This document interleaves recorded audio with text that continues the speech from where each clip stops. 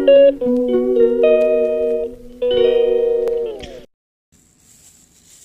guys! Good morning! Welcome back to my channel. Nagawa po tayo ng ano ngayon, Toscan Butter Salmon.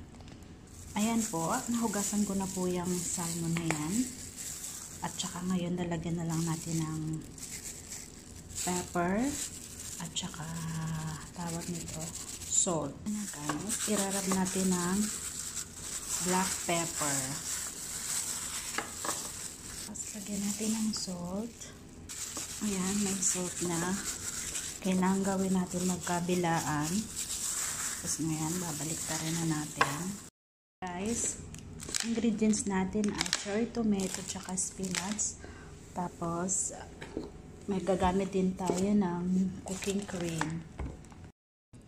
Guys, welcome back. Ngayon, start na natin ang pag-cooking. Lagyan natin siya ng olive oil prituhin natin dito yung salmon.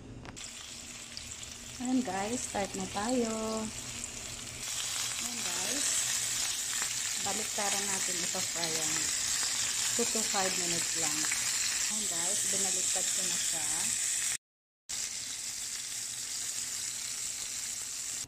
Ayan guys, put some butter. Garlic cherry tomatoes. Lagyan natin ng salt for the taste. Ayan, salt. Put some spinach. Add some cooking cream. Ayan na guys. Parmesan cheese. Which is napapasarap siya. Lagyan natin ng parsley. Ayan na siya guys. Nilagay ko na yung salmon. Ayan na siya. Ito yung tinatawag na Toscan salmon.